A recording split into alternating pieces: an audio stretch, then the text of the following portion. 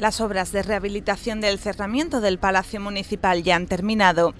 Esta actuación se encuentra recogida en la línea de actuación 6, Paisaje Cultural, de la Estrategia de Desarrollo Sostenible e Integrado, EDUSI, y ha supuesto una inversión de 284.076,82 euros.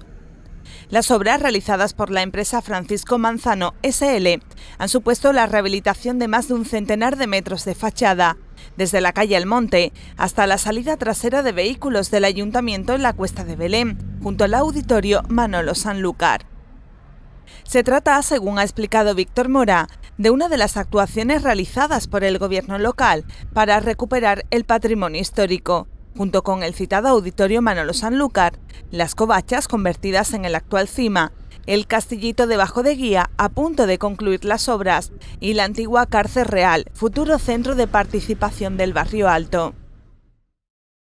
Yo creo que hay generaciones que siempre han visto apuntalado el muro del Palacio Municipal. Hace muchísimos años que estaba apuntalado.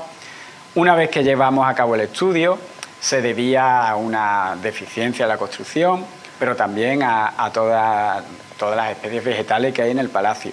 Muchas de las ramas y también del agua que, hay por allí, pues hizo que el muro se fuera eh, volcando hacia el lado de la carretera y que en aquel momento, ya digo que hace muchísimos años, se decidiera el apuntalamiento.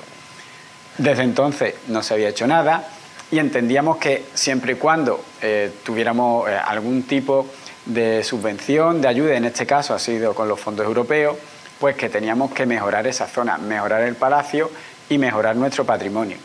Lo he dicho en muchas ocasiones, bueno, mm, y algunos y algunas le molesta. Este es el gobierno que más ha apostado por recuperar nuestro patrimonio y, llevar a cabo obras muy necesarias, muy costosas, pero que en algún momento había que, atajar, ¿no? Y sobre todo si no tenemos con presupuestos propios, porque también es verdad que lo hemos comentado en muchas, eh, en muchas administraciones cuando hablamos que los ayuntamientos con el presupuesto que lo tienen muy limitado difícilmente se puede eh, llevar a cabo obras de esta envergadura, pero bueno, siempre que conseguimos pues, otro tipo de subvenciones, bienvenidos sean y sobre todo si lo destinamos hacia mejoras como esta. Han sido 400.000 euros desde el proyecto hasta el arreglo del muro y que nos daban una serie de soluciones, pero que en un principio no nos convencían. Lo más mm, económico y rápido era tirar el muro y reconstruirlo, pero entendíamos que queríamos mantener parte de ese patrimonio, así que se llevó a cabo un estudio en el que con unos elementos, una infraestructura, desde dentro se tensa y se aguanta el muro.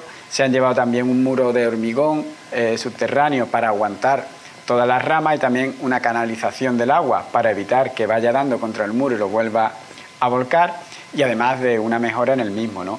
Se han vuelto a recuperar todas las flores de lis que se habían perdido y ahora ya las tienen allí colocadas y puestas. Se ha llevado a cabo una limpieza del muro, se ha pintado, incluso por la parte interior también se ha arreglado. Y como digo, una nueva inversión en patrimonio, una nueva inversión por, la ciudad y que seguiremos haciendo. Queda mucho por hacer, seguro, pero nosotros ya hemos comenzado a dar esos pasos y, y son una muestra clara esta mejora del muro del ayuntamiento.